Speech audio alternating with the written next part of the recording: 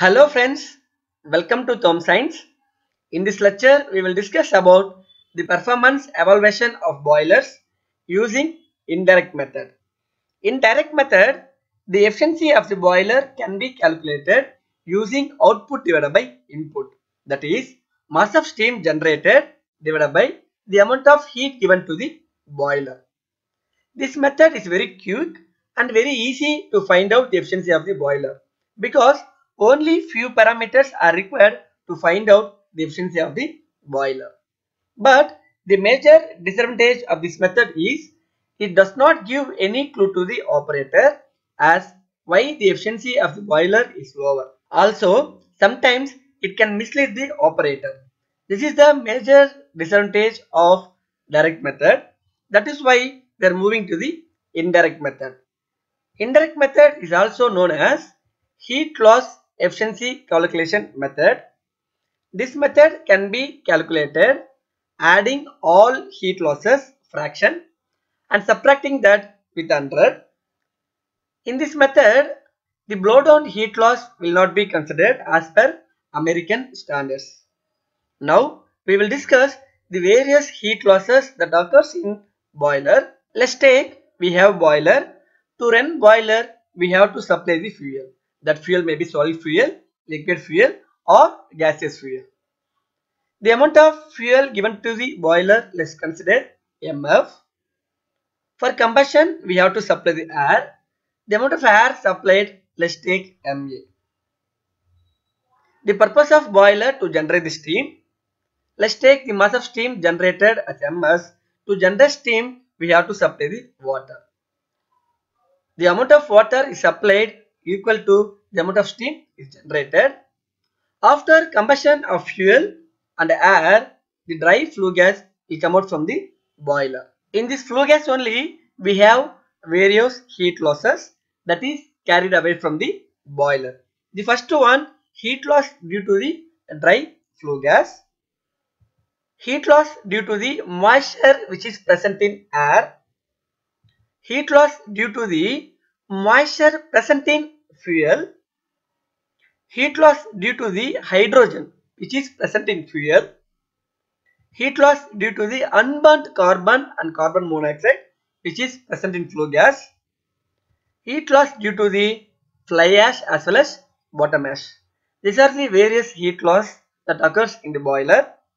We will discuss all this elaborately in this coming slides. Also we have blowdown loss. Here we are not going to consider blowdown loss. We are going to consider only these six losses. Other than the six losses, we are going to consider unaccounted losses that may be due to radiation or some other purpose. Now we will discuss the heat loss due to the flue gas. Also how to find out the percentage of heat loss due to the dry flue gas. Let's take for example this flue gas has the temperature of 150 degrees Celsius and the ambient temperature is 30 degrees Celsius. Subtract this both we get 120 degrees Celsius. Remember to rise 1 degree Celsius we have to supply the fuel. So remember 120 degrees Celsius we are losing due to the dry flue gas. So how much amount of fuel we have to supply to increase 120 degrees Celsius. It is economically loss. To find out the amount of heat loss due to the dry flue gas, we know del T, this del T. We need to know what is the specific heat for dry flue gas and how much amount of dry flue gas is available. So we can find out the amount of heat loss due to the dry flue gas. It is denoted as Qg. G is nothing but gas. Let's take the mass of dry flue gas is mg. The specific heat of dry flue gas is Cpg. Temperature of dry flue gas is Tg. The ambient temperature is Ta. To find out the amount of heat having dry flue gas, Qg is equal to mg Cpg Tg minus Ta.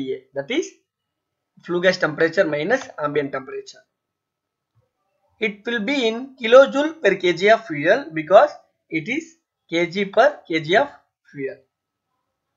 To find out the percentage of heat loss due to dry flue gas that is percentage of Qg equal to Qg minus Cv that is total heat available per kg of fuel. Next we will find out the percentage of heat loss due to evaporation of moisture which is present in fuel. We know that fuel has some amount of moisture in proximate analysis. Initially this fuel has 1 bar pressure that is atmospheric pressure and temperature let's take 30 degrees Celsius. Consider again this dry flue gas as 150 degrees Celsius because this moisture should form as water or steam and come out from through flue gas. That is why and finally this moisture also has 150 degree Celsius. And we know this moisture in fuel will be evaporated at 100 degree Celsius as dry saturated steam because 100 degree Celsius is saturated temperature at 1 bar pressure. To find out the amount of heat available or amount of energy available at dry flue gas, we know that H is equal to Hg during evaporation, how much enthalpy is available plus the superheated energy that is Cp T superheated minus T saturated. So here T saturated is 100 degree Celsius, T superheated is 150 degree Celsius. So this is flue gas temperature. We can take Tg. This is the energy available at dry flue gas. And to find out the heat carried away, that is H minus what is the initial enthalpy, that is HF. It may be combustion chamber temperature or ambient temperature, that is 30 degrees Celsius. It is denoted as QMF moisture present in fuel. The mass of moisture is MMF. Cp of superheated steam that is CMF we can take it is 2.1 and the flue gas temperature is Tg, ambient temperature is Ta. The heat carried away by the flue gas denoted as QMF is equal to mass of moisture available in fuel. Tg is a 100 degree Celsius 1 bar. You can take 2676 because that is the enthalpy at 1 bar pressure 100 degree Celsius. This is 2.1. If they have given question, no problem. If they have not given, let's take this one 2.1 kilojoule per kg Kelvin.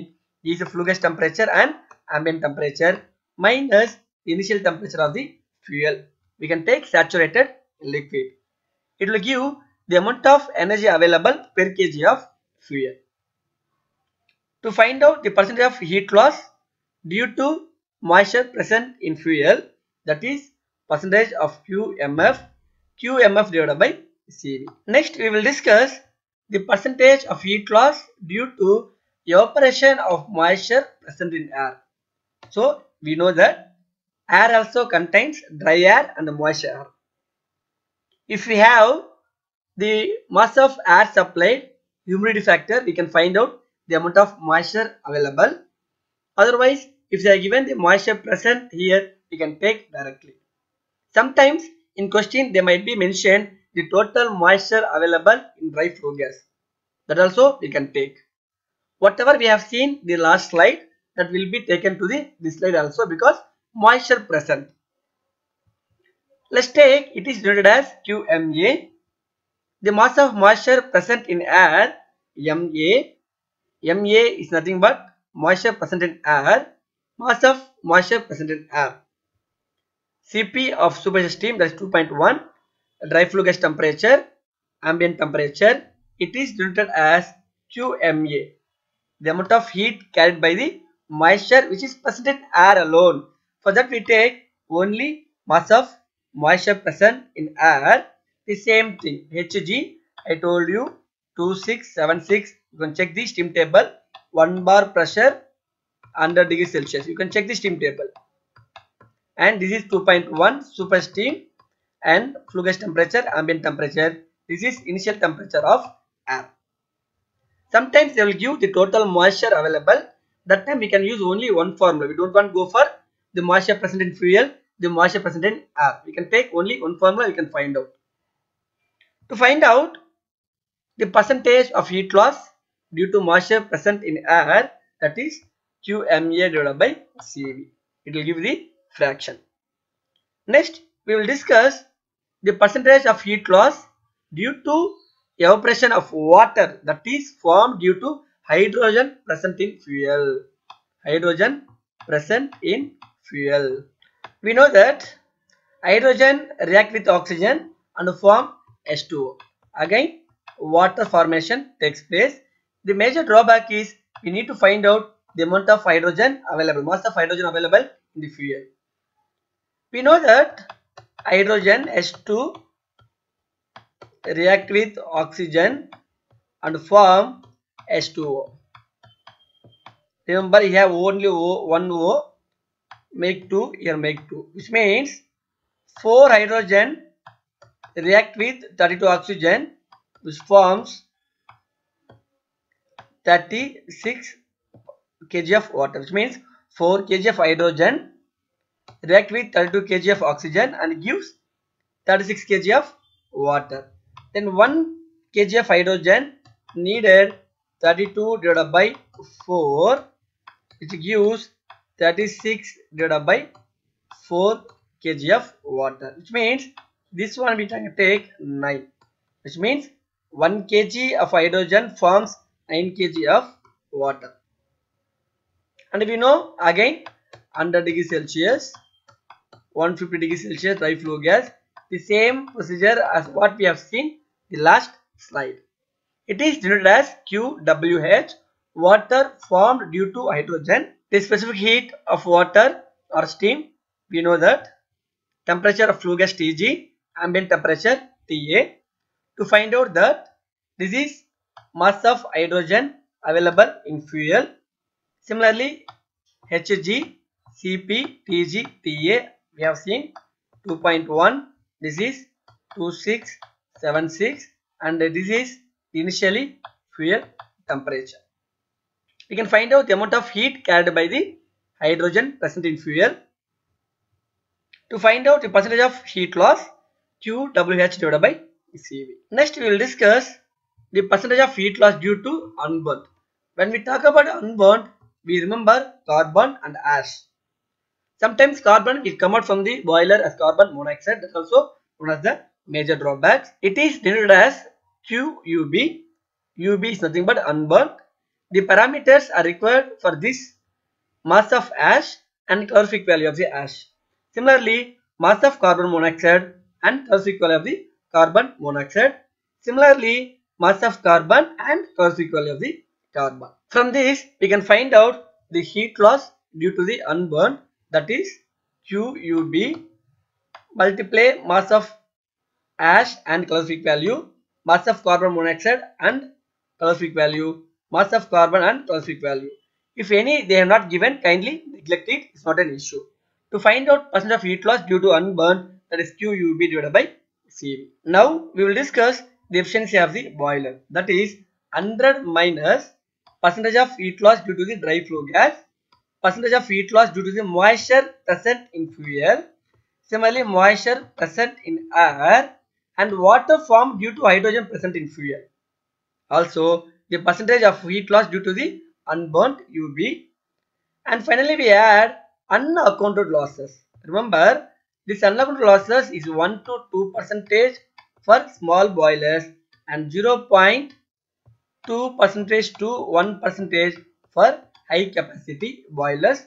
Let's we take directly this one and substitute. In next lecture, we will discuss how to find out the mass of dry flue gas, mass of moisture present in fuel, mass of moisture present in air and the hydrogen present in fuel. If they are not given in question, how to find out these parameters that we will discuss in next lecture. If you like this video, kindly like, share to your friends. If you have any doubt, kindly give in comment box. I will reply to you. Also, I will give the material. Thank you.